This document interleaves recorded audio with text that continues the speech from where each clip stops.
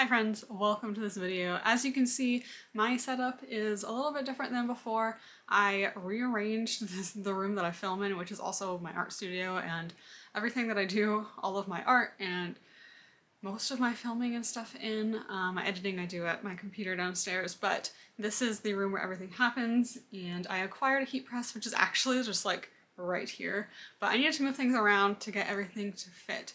And so now we have books behind us, which I actually think it looks it looks nice. I might change which books I put here to be like more popular books or books that like I resonate with at the moment. These are books that I read in like middle school or before middle school. So they're not books that I read anytime recently. Um, anyway, I don't know if I will do that or not. Maybe stay tuned for that. Um, today we're going to see if I lessen my TBR at all in the month of March. Yesterday was the last day of the month, so we're filming this video today. Um, I will say I only read two books this month, which isn't a lot, but they were big books. But we're gonna start with the books that I hauled. So the only book I bought this month is The Desolation of Devil's Acre which is a part of the Miss Peregrine's Home for Peculiar Children series.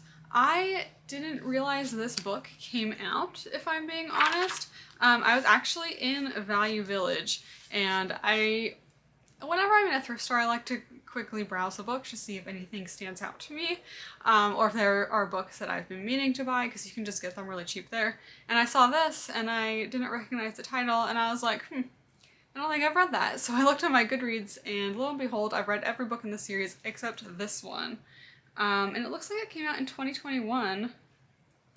I'm not sure the date, but that was last year. Somehow I totally missed the release of this book, so I bought it and I think it was only like $3.50 or like $4, so it was pretty cheap considering the normal price you would pay for books. I did not read it this month. I think I just got it like a week or two ago.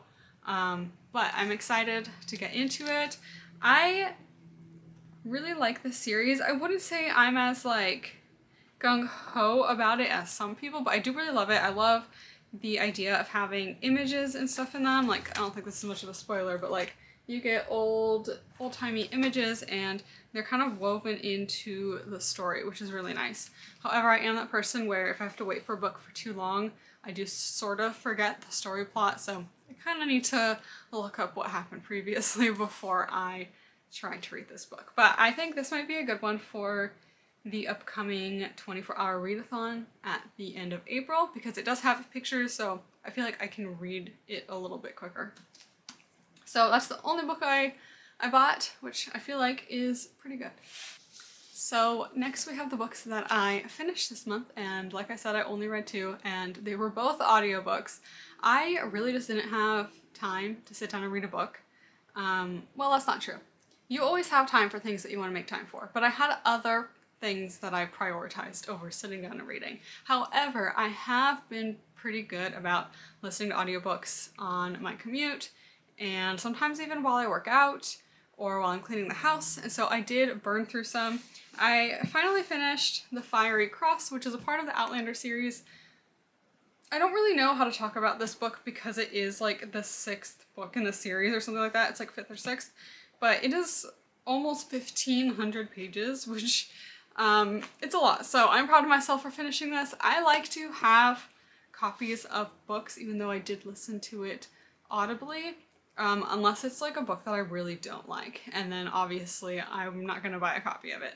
Um, but I, I love the series. So the next book that I read was Brisingr. Again, in a series, so kind of hard to talk about it, but obviously it's about dragons and Eragon and stuff like that. This was a series that I missed out on in high school? It was like middle school or high school is when these books were coming out for me and I never read them, but I remember all the hype and then there was a movie and everyone hated the movie. I will probably not watch the movie um, unless I'm like gonna watch it while I'm doing something else. I did not like the the second book in the series. I want to say I gave it a two star. It just really felt like nothing happened in that book. Um, and so many pages for nothing to happen. This book, I think I gave it a three stars. I do feel like more things happened there were one or two reveals that were actually like, oh, okay. um, instead of, yeah, I, I saw that coming. Um, there was some fighting, there was a little bit more action, I guess. And I'm all for slow books, but the slowness needs to like build something or be doing something. And I really felt in the second book that nothing was, like it wasn't even building anything. Like we have fighting in this and like I see how it sort of built to that. It just felt like there was a lot of pointless things that happened that I didn't need to hear about. So that is my really short video for March. April will hopefully be longer. I will hopefully have read a lot of books because we have the 24 hour readathon April 30th.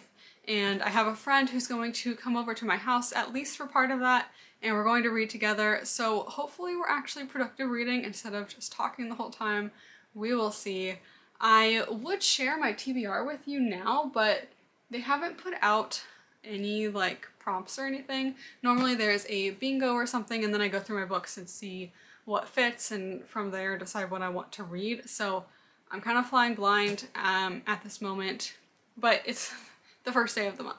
So I'm sure we will get a bingo in a few weeks. I do have a few books that I would like to read. I have The King of Scars and Rule of Wolves that I really need to get to. I have a friend at work who's been borrowing all of my um, Bardugo books and she's getting caught up to me. So I need to read those before she's ready for them so that I can give them to her without having to wait for her to finish them so that I can read them. Anyway, hopefully I'll read one of those. Um, like I said, The Des Desolation of Devil's Acre would probably be a great pick, and I normally choose a couple graphic novels or comics just because it's nice to have a quick easy read here and there. And then I always have at least one audiobook because at the end of that 24 hours I am tired and I will fall asleep if I continue trying to read. So I normally start playing video games um, like Teamfight Tactics or League or just something that I can do sort of mindlessly and listen to an audiobook because it's the only way I can survive the full 24 hours. Um, and obviously like you don't need to do the full 24 hours, but it's kind of a fun challenge. Anyway, that's it for this video. Stay tuned if you want to see what other books I read. Let me know if there are any books you think I should read. Um, and give me a thumbs up if you are also going to participate in Dewey's 24 hour readathon or if you would like to see that vlog because I will probably be vlogging. Um, anyway, I will see you guys all in the next video. Bye!